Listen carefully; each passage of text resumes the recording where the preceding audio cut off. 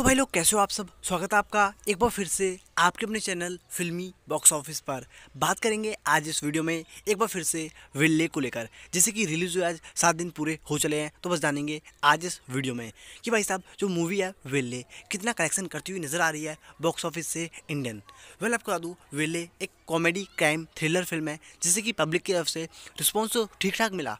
कहने का मतलब ये है रेटिंग भी काफ़ी अच्छी रही, लेकिन जो रिस्पॉन्स होता है ना थिएटर में, वो नहीं मिल पाया।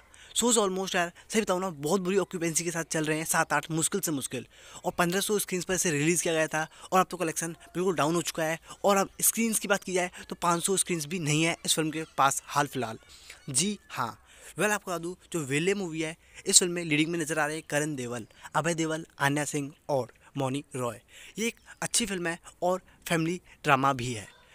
जिसे कि डायरेक्शन दिया है देवेन मुंजल ने और प्रोड्यूस किया है अजय देवगन अपने ही अपने ही production house Ajay Devgan films में जहाँ पर इसका बजट है महज दस करोड़ रुपए। अब कलेक्शन की बात आती है तो आपको बता दूँ आज ड्रॉप आ चुका है और ये फ़िल्म मुश्किल से मुश्किल चालीस से पैंतालीस लाख का कलेक्शन कर पा रही है वो भी बहुत ही मुश्किल से।